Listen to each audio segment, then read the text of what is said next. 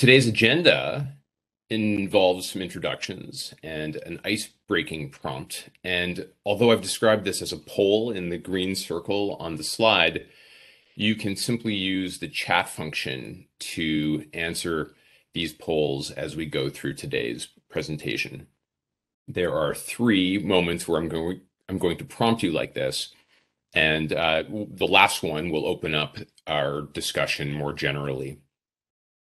But as John said, feel free to throw out a question to me uh, in the chat at any time during this presentation. I want to spend a little bit of time after introductions on reasons to encourage participation and then participating and leading with questions, our terminology, and the assignment's timing, and, and those last two will be very quick. And then we'll spend a little more time talking about what makes a good question. And I'll show you some sample prompts from my own syllabus from a course that I taught in, uh, well, I taught two courses that used the assignment, but one in particular that I taught in this past term. Then I'll show you some student samples and they're anonymous. So um, I don't think there's any ethical reason why not to use these questions. And finally, um, there will be further discussion or questions from you. So um, let's begin with poll number one. If you want to start answering this in the chat, that's great. And um, while that's happening, I'll move on to introductions and say a little bit more about my background and where I'm coming from here to help contextualize what I'm saying. So feel free to answer this question. What one topic related to questioning interests you the most? What one topic related to questioning interests you the most? You can put that in the chat if you'd like. All right, let's move on to introductions. And that might be an occasion too for you to use um, a question here.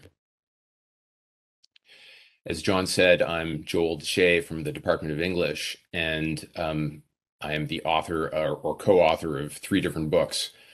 Um, one called The Metaphor of Celebrity, one called The American Western in Canadian Literature, and one a co-edited collection that's, uh, I hope, coming out later this year called The Contemporary Leonard Cohen. So it's all about literature for me. And um, it's interesting that one of the novels that I'm going to mention a little later today uh, involves a um, a narrator that spends so much time questioning. So I'm even noticing it in the literature that I'm looking at. I, also want to say that I'm formerly a consultant at the University of Saskatchewan's Instructional Design Office. That office is parallel to CITL here at Memorial University.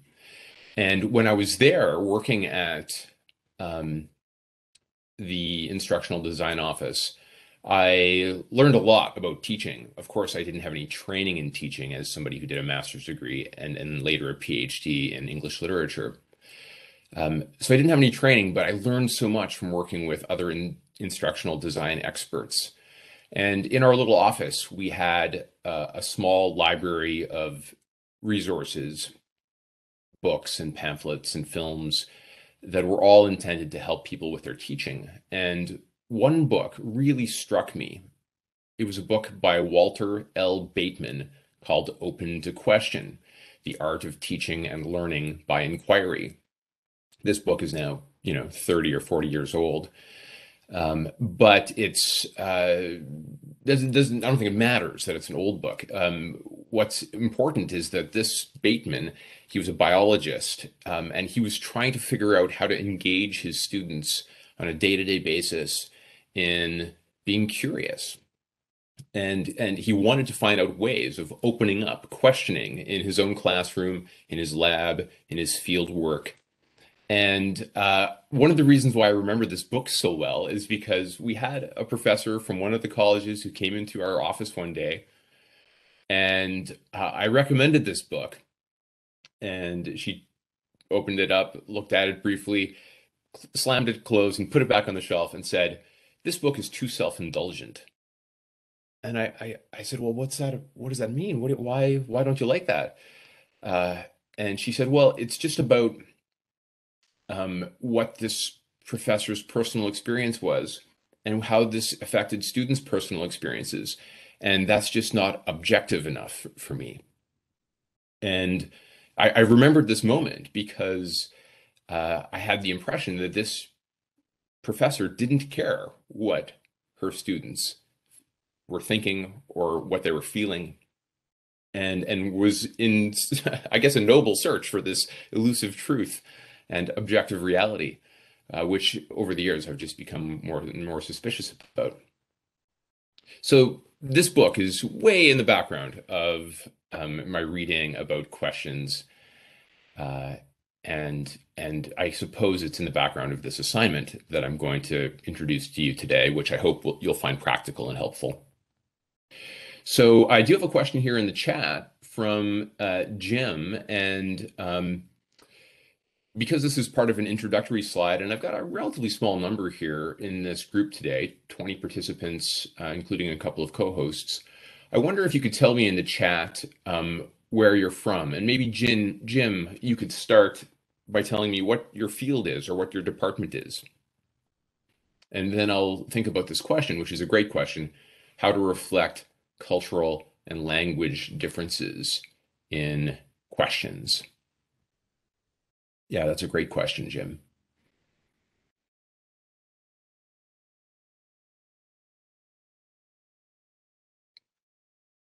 Jim's from the Nunavut Arctic College. Welcome this is one of the big advantages of the virtual platforms is if you're really not in the same place, you can still connect. Uh, Jim, since you're asking this, um, ah, the social service program. Okay. You know, uh, it, it's it's interesting. Um, your question's a big one, and it reminds me, since I'm invoking my early teaching career here with this book by Walter Bateman, it reminds me that one of the first places I ever taught was then called the Saskatchewan Indian Federated College. It's now the First Nations University of Canada. But I taught there and taught an English literature and Indigenous literature course there just after I graduated with my master's degree. And one of the problems that I realized um, with my teaching methods, which I had simply inherited from my own education, was that um, questions were like interrogations from a position of power. And that was a cultural and language difference. Um, I was speaking primarily to Indigenous students. For many, um, English was a second or third language. Cree or Dene, for example, would have been um, first languages or family languages for them. And so to have um, a person uh, like me, a white man standing in the front of a classroom, um, delivering lectures and asking questions, it, the questions were built into a power dynamic. And so, um, and, and they were questions at the time that you couldn't always prepare for. And um, that, I think, produced a chilling effect on uh, conversations that we could have in that classroom. I often think back to my early courses and the mistakes that I made, or, or maybe not mistakes, but the things I didn't know that I wish uh, uh, I could go back in time and, and teach myself.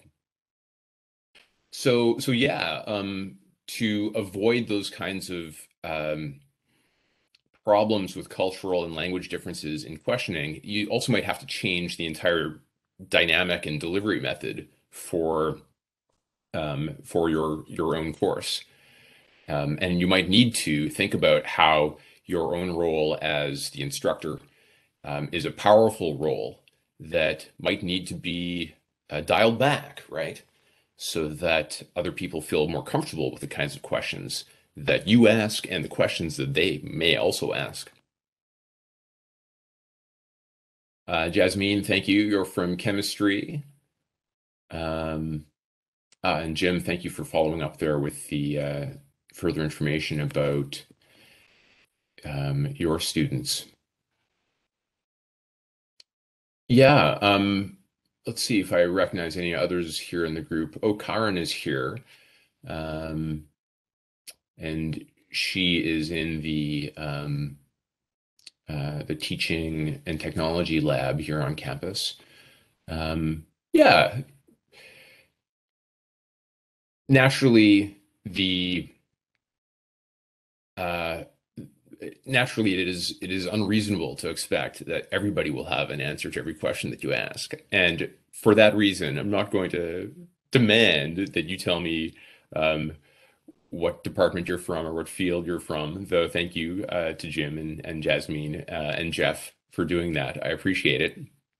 Uh, that's one of the other things about questioning that's really really important is that um, when you realize that you're coming from a position of power and you're asking questions, um, you, you can't lean on that power too much and and make demands.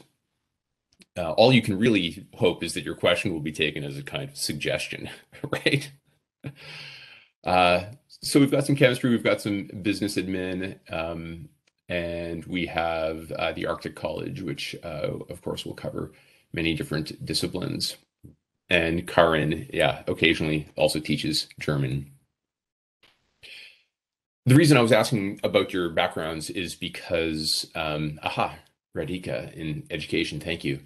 The reason I'm asking for your backgrounds is because we probably have different experiences in our education and and those have informed the kinds of questions that we tend to see and the sorts of uses uh, the questions can be put to. Um, for example, one of my former students was from a very uh, strict cultural background in terms of teaching expectations. And when I saw that student ask questions in a classroom, they were very um, basic informational questions that weren't really intended to open up discussion or to lead to unexpected conclusions. Um, but what I've learned is that we should be open to those kinds of unexpected conclusions. Uh, so Rebecca's from nursing. Thank you. Shane uh, is here at CITL and is connected to three faculties. That's very ambitious. Thanks, Shane. And uh, Shivam is here from the Department of Mathematics. Yes, of course. Um, good. Uh, and another from nursing. Okay, good. So we have a mixture of science backgrounds, um, and then sort of pure disciplines like like mathematics, um, and uh, and then the sort of cultural fields um, uh, and geographical fields. Okay, so that's good. We've got a, we've got a, a broad range here, and um, I guess that means that yes, I do have to remind you that my background in English means that I'm a language and literary scholar and, and cultural scholar more broadly. And our classrooms have become much more conversational over the years. I've noticed this with my colleagues. I've noticed this with courses that I've uh, dropped in on over the years. Since the time I was an undergraduate student in the 1990s, um, this sort of lecture model that uh, a WebEx presentation introduces uh, is is certainly not the only model that is used successfully now, and and more commonly um, on campuses. Okay. Um, oh, and Lev, I had missed your, missed your question here, but I'd like to read it. Uh, Lev asks, how to fit this into undergraduate physics where it's easy to fall into leading questions. I'll define leading and open questions in a minute for those of you who might not be sure about them. And how to run this in large lecture sessions. I've been trying flipped classroom just in time teaching. Some students like it, a lot, a lot aren't willing or able to put in the required time. Yeah. Okay, those are great questions. And um, part of the challenge of ans answering them uh, relates to the challenge of teaching large, large classes which uh, is a challenge that has these ripple effects on all the kinds of processes and procedures you can uh, undertake in the classroom, right? And it has to do with um, information management in the moment. And that's what the big challenge is. So uh, I'll say a little bit more about this in a few minutes, Lev, but um, the the there are two short answers. The first is it's a matter of um, preparing students to ask questions that are not leading questions, and also to try to model questions that are open. Um, secondly, it means um, doing a bit of the prep yourself, uh, maybe creating an assignment like the one I'm about to describe that will allow you to do some of the homework so that when you come into the classroom, you've already made choices about your questions based on what students seem interested in. Uh, that's part of the flipped classroom model that Lev is talking about here. So I'll say more about this, but um, we'll do it as we go because I think I'll probably answer parts of your questions based on the slides that I've already prepared. Yeah, so great question. And if I don't uh, remember to get back to those aspects, um, Lev, please remind me a little later. Okay, let's move on here to reasons to encourage participation. I just wanted to say something about this because um, it might not be uh, conventional wisdom that participation is helpful, but I really do think it is. There are significant advantages to participation, like the kind that questions can produce. For students, that means more motivation and interest, better critical thinking, including less rote memorization, improved communication skills because there is some communication that they can practice in questioning and answering. And there's a growing sense of citizenship and possibly leadership. Um, and, and that's where this becomes potentially a practical, a very practical thing to consider concern yourself with. Um, so you might think, oh, Joel teaches in in literature. He must be a very practical person. I've had I've heard that before, and although it is partly true, uh, I'm also really trying to find ways of improving my teaching year by year. Um, I'm a practical person in that sense, and uh, I know that tapping into leadership, which is really important in nursing. My sister is a nurse, um, and her husband is a nurse, and it's really important to have people, especially in a trying time like this, who have leadership capabilities. It's really important in education, where so much of what goes on is um, teaching for change. How do you do that? You need some people who can model that and lead it, right? Uh, and it's important in uh, any of these contexts, really. So I'm trying to focus on that on that practical aspect today.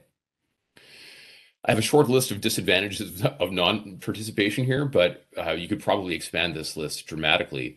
Um, it's a disadvantage uh, when non-participation leads to irresponsibility toward preparedness. Um, and uh, and I think that also has a chilling effect on the classroom. Speaking of a chilling effect from before, and naturally, um, non-participate non-participation can lead to results such as lower grades for the students. Um, and unquestionably, there's a parallel. I've done my math over the years, and I've seen how participation grades, which I'm not going to talk very much about, but how participation grades become these subjective assessments that are linked to other grades. And uh, and this is actually another thing that goes on with the assignments that I try to, to, develop. They're assignments that are attempting to um, give students explicit ways in which they can participate in appropriate and productive ways in the classroom, whether that is in person or remote. I should say that I've done both this term with um, this assignment that I'll say more about in a moment, and it worked just as well in person as it did online.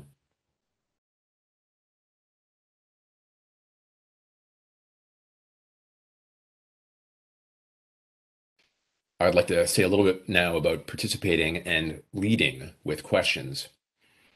I started with the design of an assignment that would solve the problem of a classroom centered primarily on the teacher and the lecture. I put solve and problem in quotation marks here because, uh, as I said earlier in response to, um, uh, it, it, wasn't Lev, I think it was in response to Jim, that um, in my experience, the lecture can reinforce a power dynamic that um, can be especially problematic and you have a, a racialized classroom or a difference between a white person and an indigenous person um, in the classroom, those issues become even more fraught. So, um, yeah, the flipped classroom model is one of these models in which people try to move away from lectures and uh, minimize lectures, not to dispense with them altogether. I'll say more about that in a minute, but try to minimize it and introduce other ways of doing things. I just want to take a moment here to look at uh, this um, note here from Ulrika. I'm sorry if I'm mispronouncing your name, but you've got a great uh, message here saying thank you for pointing out that regarding uh, leadership skills in nursing. Yeah. Um, and you're using a primarily flipped classroom, but it's always a struggle to encourage participation in this manner. Yes, I agree that it's never easy to uh, get anyone to participate in anything. um, there are so many reasons to be reserved and to um, tune out, as they say, right? But um, but I but I can speak with confidence about the assignment I'm about to introduce to you because it worked so well for me this term, and that's why I wanted to share this with you. So my solution to this problem was specifically what I'm calling a leading by questions assignment that transforms the potential problem of a leading question into a solution that works especially well as a leadership opportunity for students with practical learning styles. Learning styles as per Sternberg and Kolb, and here I'm using the 8L, which uh, Anne Braithwaite advised against in her talk. But yes, uh, there are more people involved here other than these people who uh, are sort of name identified with these topics. But um, I break down the large list of learning styles into three main categories creative, analytical, and practical. And they have overlap, but um, certainly um, the practical aspect, I think, is the emphasis for me right now. Jim has a question. Um, does this also reflect how we define participation? Jim, I'm a little confused about what this means in your question. I appreciate a clarification there.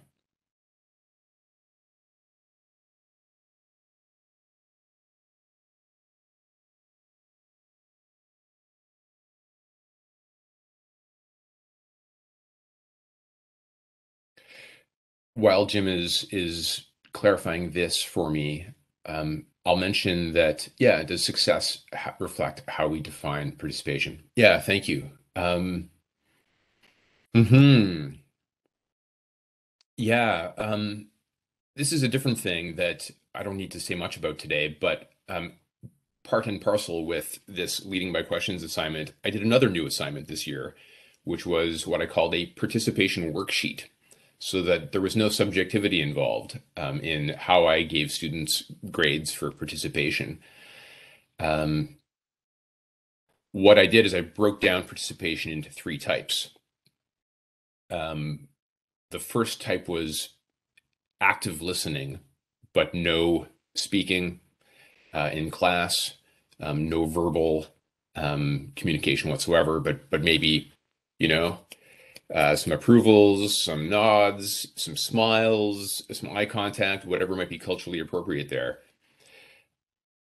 I gave grades for that. Uh, I gave grades for interactions between professors and um, students in the classroom, and I gave grades for interactions between students. And I, I hated the notion of itemizing things like that but the students really appreciated it. They said, "Oh, now I know that here's an appropriate thing. I can respond to a student's comment in class." And the students just didn't feel like they had that authority before.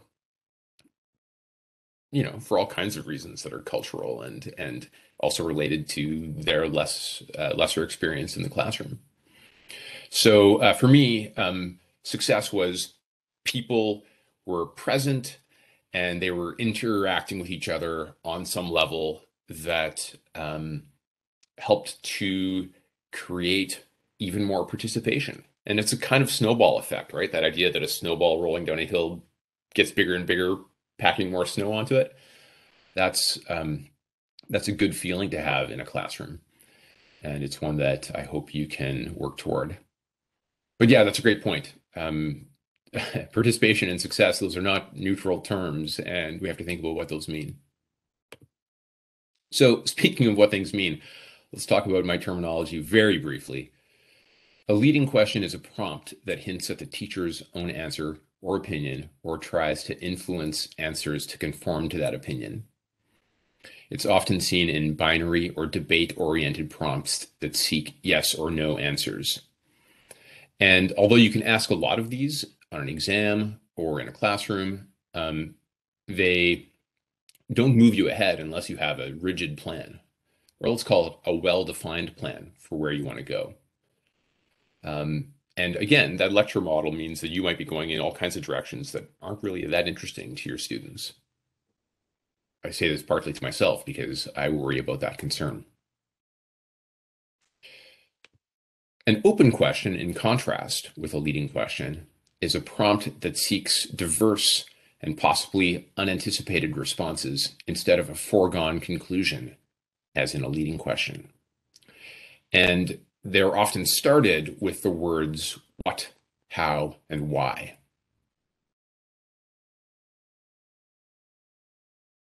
The leading by questions assignment encourages learning by inquiry, in class participation, and the development of leadership skills. Also, the co creation of knowledge and a shared responsibility for education. I'll say more about that co creation of knowledge in a bit, but I just mentioned the, the rolling snowball, that allegory or, or metaphor, I guess, of, of how particip- participation can build in a classroom. Well, um, the other really exciting thing that happens when I think everything's going really well in my classrooms is that we're creating knowledge together. We're not simply reiterating existing knowledge. Although, again, this is a disciplinary difference, right? It might be in math or it might be in chemistry that you just need students to know who Pythagoras was or you might need them to know um, what trans is, which is the uh, the chemistry term that Anne Braithwaite mentioned, and I don't know what that means either, uh, but she mentioned it in her plenary talk this morning. So there are times when you just need a specific answer, and you want to find out if students have it. Um, but uh, then you have all these potentials for uh, getting students speaking more openly about the subject matter, and and I find that as soon as you can do that, you can help them to um, not sidestep, but sort of like it, it, it automatically deals with a lot of the minor questions and gets you focused on bigger, more important questions. Okay, another practical issue that I'll just mention briefly is that this assignment's timing is different at different portions of the course. For the first half of the course, it's about modeling the questioner. When the teacher tries to provide questions or prompts in advance, for example, in the syllabus, ask follow-up questions after initial discussion, and encourage students to ask follow-up questions as practice for the second half of the course. Flipping the classroom when students each write a weekly question to be discussed in class, due before class, and continue answering questions in discussion, but now mostly their questions.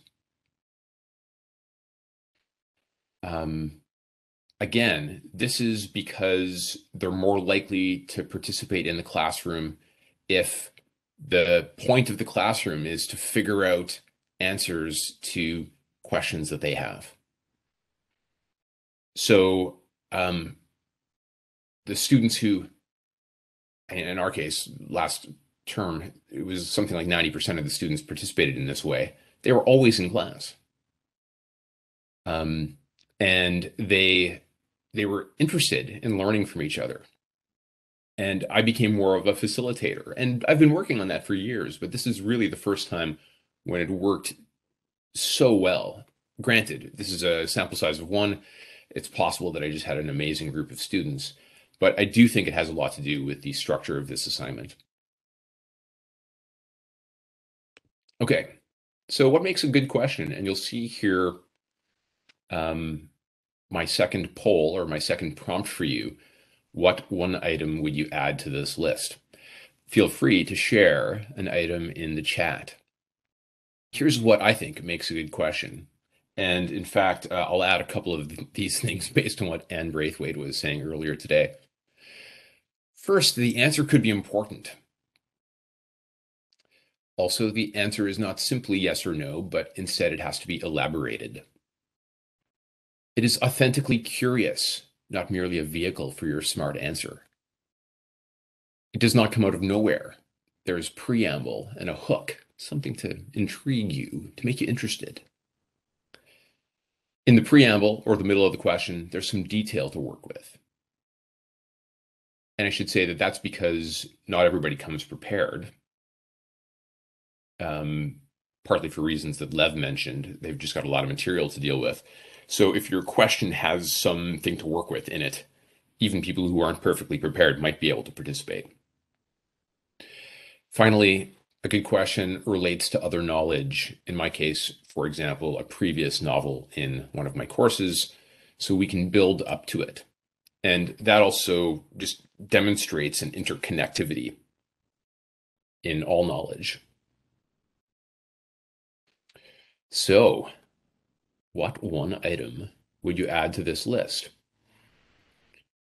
Or do you want any clarification on any of the points on this slide?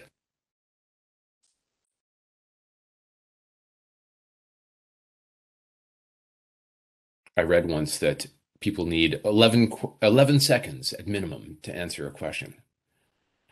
It takes that much time to remember something, recall something, formulate an answer, and then screw up the courage to say something. And uh, in the online environment, they also have to have the time to type it. so it always takes more than 11 seconds.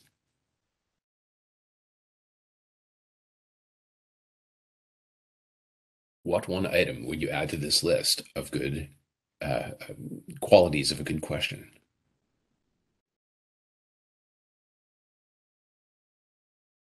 Uh, another thing that I should say while you're thinking or typing is that silence in response to a question is okay. And we shouldn't feel too uncomfortable in those silences.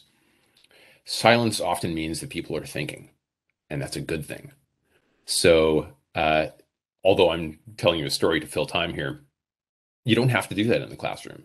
You can take a breather and and and wait for people to have answers, and that's okay.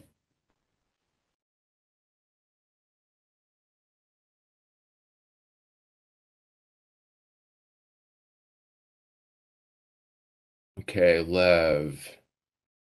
Students fear of making mistakes as a result of a public education system focused on getting the correct answer. Yeah, mistakes are how we learn.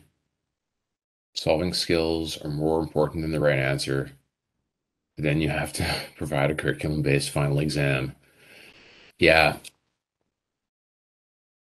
Hmm. One of the concurrent questions or con con concurrent panels uh, this morning was on uh, unteaching. Um, and I, I, think that panel would probably have something to say about um, that aspect of your interests, Lev. But I'm glad you're here in this one. Um, yeah,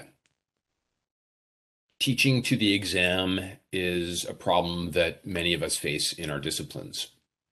I'm very privileged that it is not a problem that I face in literary studies and cultural studies um, that I do.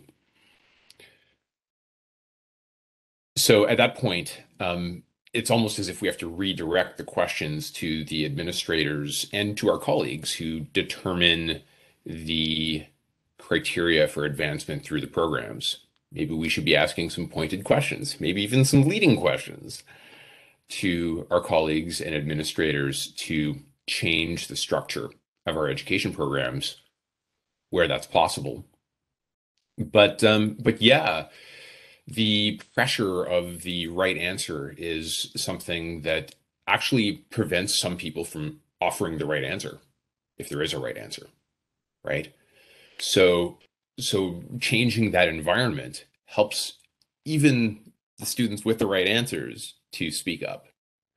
And and that's so much to do with um, trying to change the power dynamics so that students feel comfortable and and moving a little bit farther away or minimizing the, the lecture model is one way to do that. Dr. Deshaye, John here. I just wanted to point out, in case you missed it, there was a comment from Jim uh, just prior to the comment from Lev on that poll question, and then there's two other comments after that as well. Okay. Thanks, John. I did miss that one from Jim. Uh, Jim is talking about the other knowledge that could include experience and culture. Yeah. So what makes a good a good question? Um, it could elicit um, explanations of experience and culture and and validate experience and culture. I think that's good, um, very helpful. That's one of the things that, in fact, helps to create the environment where a student will feel allowed to give even the right answer, right? If that student's feeling pressure about like even saying something uh, in, in, in, a, in a room. Um, Shane, Shane says, rather than add to this list, I'd like to emphasize the importance of preamble and how much I personally enjoy scaffolding for learning. And reflecting in my own learning while being an education student, I feel like gaps as a result of a lack of explicit reference to a previous topic or prereq are major barriers to giving an appropriate answer. Yeah, I think that's very true. Um, so putting emphasis on preamble is important. And in your case, you're talking about preamble that is sort of uh, in the prerequisites, you know, before the course. Yeah. In other words, engage students' previous knowledge and experience, right? With Anne Braithwaite talking about citations, um, it made me remember that um, once in a while I get an expert on something in my classrooms. You know, I had a student once who was a, a, a semi-pro hockey player and uh, I asked the student to cite something like that's a really obscure historical reference to the development of rules in hockey. How on earth could you possibly know that? You must be like plagiarizing somebody. And the student's like, no, I'm a semi-pro player. Like hockey's my life. and so uh, finding a way to validate that student's previous experience, even before my course, can help to give that student a legitimate voice in the classroom, right? And and that's when students feel more comfortable answering your questions. Yeah, so that's a great point, Shane. Thanks very much. Radhika's question is really important. How to prepare a comfortable environment for the students to come up with their answers. Yeah, it's the big question about safe spaces, right? That's part of what it is. Students have to feel like they can be listened to, right? Um, and I'm trying to model this here, uh, and John has been helping. Um, we try not to to ignore people who have questions, um, because it, it can actually become strategic to ignore people who have questions if the same hand is always going up in the classroom, or if somebody's jumping in all the time. Those kinds of ways of dominating the discussion um, reduce other students' level of comfort. But um, you know, uh, I think Radhika, it has something to do with how you set the tone, um, how everybody sets the tone. It's not only the instructor's responsibility. Sometimes you can just have a group that's not going to be that helpful. But um, often, if you set a tone of of modeling friendliness and um, openness, um, that means that a lot of students are going to to follow that model.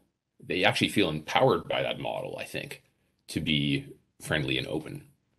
Sometimes students still have this high school mentality of opposing the authority figures, but if you can um, maybe with I often use self-deprecation. I make jokes about myself sometimes. It's a, a, way of diffusing my authority and just sitting down and talking with them uh, chatting with them before the class begins, things like that can be really helpful to create that environment. And then the questioning and answering just goes a little more smoothly. And we have one more uh, comment from Ulrika Pai, uh, relevant to practice was her comment with regards to your question. And I will just uh, let you know that there's 15 minutes left in the session. Thanks, John. Yeah, I missed that one about the relevant to practice. Um, but but I think that's helpful. Uh, a reminder that a good question is practical. Uh, it's involved in the processes that we go through. Um, so I'm going to show you in just a moment um, some samples from my syllabus. Now, again, it's in a literature context, but I can say a little bit about the practice that we're involved in, and you can figure out whether you can adapt this for your own purposes. So this is a sample prompt from my own syllabus while we were studying Leonard Cohen's book, Death of a Ladies' Man. Twenty odd years after Let Us Compare Mythologies and its theme of paternal relationships, the speaker is now a father himself. In poems such as Another Family, The Promise, The Other Village, and especially Beside My Son, what seems to have changed since Let Us Compare Mythologies? How is the father represented now? So, um, this goes back to Radhika's most recent question. How do you make a comfortable environment? Um, these comparative questions are very easy for students. Compare and contrast is what they've been taught from elementary school through high school. So giving them something comparative helps them to achieve a certain amount of comfort. Uh, this is still a, a difficult question, partly because it's pretty open. But one of the reasons why it works is because if I ans- if I ask this question in class and it's in the syllabus, so they know it's coming on that day of class. If I ask the question and I wait 11 seconds, make a few jokes, and and still no one has anything, I say, well, let's just look at one of those poems. What do I feel like reading today? I think I'm going to read the one called Beside My Son. That poem happens to be five lines long. It's really short. So you can read it five times if you want. And then you can talk about it. And you can redirect students back to these questions. Um, so this question worked really well this term. It's really open, it's comparative. Both of those things um, can help when you're asking questions. Now, by the way, I'm going to uh, ask you at the end to comment on some of these prompts if you'd like. Um, there's kind of a narrative for how these prompts fit together. Um, but if you do want to just jump in with a question about these prompts or a comment about them as we go, that's okay. I can also take your criticisms if you think that these are bad prompts. you can tell me why, and I'd be happy to respond. So I've said a little bit about this one. I want to move on to another one, keeping in mind what John said about time. This one is notable for its deliberate binary debate point of departure. So yes, this one is a leading question, but I'll tell you a little bit more about why it worked. Near the end of the book, we're also talking about Death of a Ladies' Man by Leonard Cohen. The postmodern self-reflexivity culminates in a series of poems about Cohen's anesthetics, including Which is So Beautiful, The Price of This Book, The Transmission, My Life in Art, and How to Speak Poetry. Have you been anesthetized as the speaker warned? Have you been seduced into his arms? What do you think? How do you feel? Why? I wanted to include this prompt because, yeah, there is a leading question built in here. Have you been anesthetized? It's easy for a student to say, no. Done. Move on, right?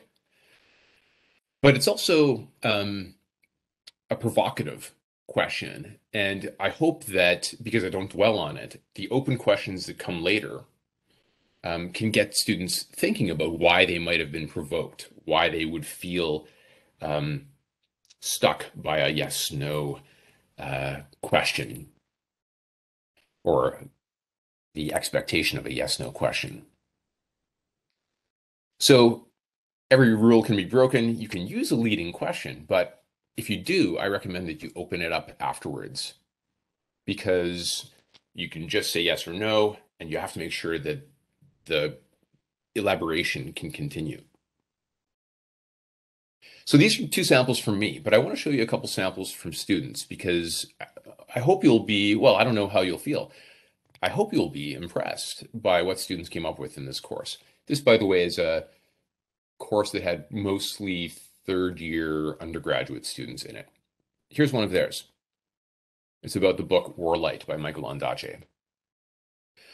Michael Ondaatje's Warlight contains many instances of nicknaming. For example, the children's mother nicknames them Stitch and Wren. Most prominently, the children nickname their caregivers the Moth and the Darter. While not as traditional, this mimics the way we nickname our parents, Mom and Dad. Note particularly the starting letter of each nickname. What is the significance of these names? How do these particular nicknames enforce or go against the concept of a nuclear family? Yeah, so you might realize that this is totally one of those I have a secret answer kind of questions, right? Um, the answer is kind of built into this one. Uh, what is the significance of these names? Well, the moth means mother and the darter means dad or father. How do these particular nicknames enforce or go against the concept of a nuclear family? Well, those people aren't the actual parents, so it's dissolving the nuclear family and producing an alternative arrangement. So the question has already answered itself. This was early in the in the term. Students were still warming up. I didn't want to suppress the question. I actually brought it into the classroom and commented on it much as I'm doing now because it's a great idea. In fact, I cited this student's anonymous question in uh, an essay I just wrote about this novel, which uh, I hope will be published in, a, in an upcoming book. So I was fascinated by it and I wanted to bring it into the classroom, but this is also something that meant that I'm going to deal with this question pretty quickly. We'll spend five minutes on it instead of 15 minutes, right? Now, here's a final example for my students. This is after they've been practicing. In Dionne Brand's novel Theory, we come to know the narrator through the way that they think about their partners and what they imagine their partners think of them. Here, the narrator is using a plural pronoun because it's ambiguous um, how the gendering of the narrator proceeds throughout the book. When the narrator reminisces on their time dating Yara, they associate Yara and her way of living with fire. Yara is always on fire, burning, burning, burning. Her urgent manner is an incinerator that burns the narrator up, and she attracts emergencies like a fire department. The narrator associates Yara with passion, but also destruction, just like a fire. If Yara was the narrator of theory, what natural element might she use to shape our image of the current narrator and why?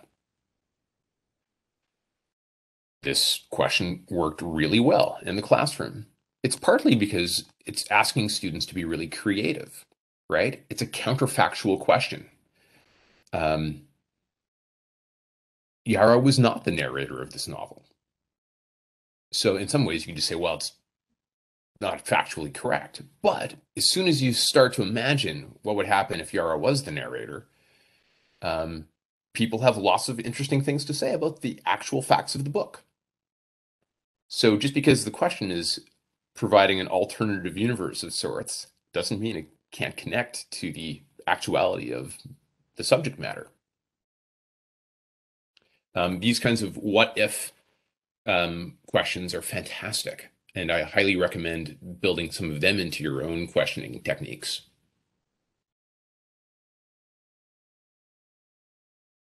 I had mentioned that this is a question or an assignment that's really helpful for students with practical learning styles, but it's questions like this that show how students with creative learning styles can really find a place in um, a questioning, uh, a creative questioning scheme. Okay, well, we now have some time for further discussion. We've not a lot of time, we have something like five minutes. Um, what are your views of the prompts that I shared? Why and how do you use questions in your teaching? If you're not in the humanities, how would you adapt the leading by questions assignment to your discipline? For example, social work or engineering. I'd love to hear your views on this.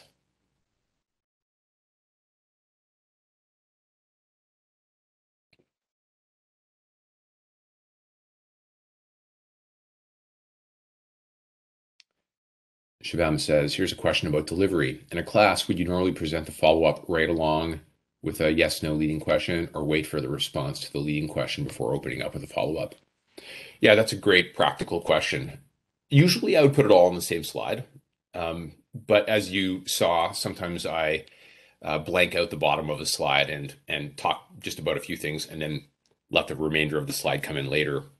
You could do that with uh, a leading question that transforms into an open question. And in fact, I've seen that done in uh, conferences. Uh, there was this great conference presentation that had text that would sort of come in uh, bit by bit and, and sort of assemble um, from being invisible to being visible throughout the course of um, the discussion of the question. And it worked great. So yeah, I would put it on the same slide and not worry about it because some students will just skip over the leading part of the question and go right to the to the open part anyway. Um, but it could it could work either way. I've seen it work either way.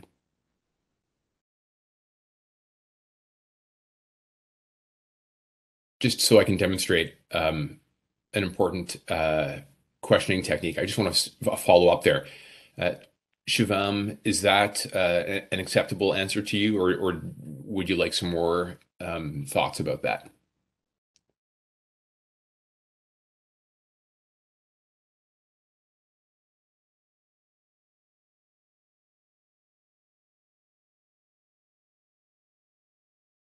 Okay, it seemed to satisfy the, the question, so that's good. Jim points out the leading question assignments uh, similar to the reflection assignments related to experiences in practice or with elders and professionals. And thank you, Rebecca, for responding to Jim directly. Uh, that's great. I love it when that happens. We have the same types of reflective assignments in nursing. Okay. Hmm. Let me ask you a question about reflection. Um, what's the benefit of reflection for you, Jim, or for you, Rebecca?